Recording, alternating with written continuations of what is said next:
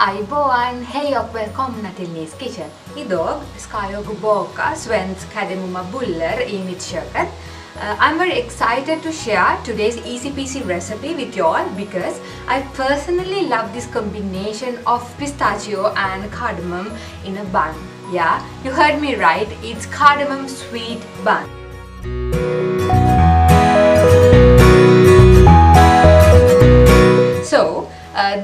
Buns are originally from Sweden. These uh, kardemumma bullar, which is cardamom buns, and kanel bullar, that is cinnamon buns, are very popular among these fika culture.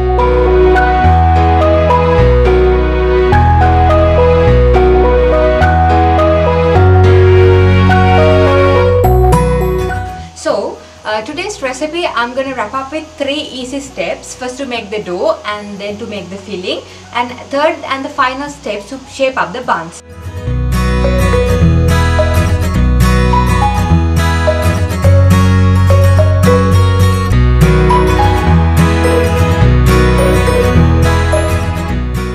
Look at these delicious cardamom pistachio buns. I really can feel the smell and it's really good.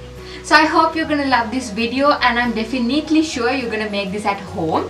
Uh, so uh, do subscribe, like and share Neez Kitchen and stay tuned with Neez Kitchen to get alerts on interesting and uncommon recipes.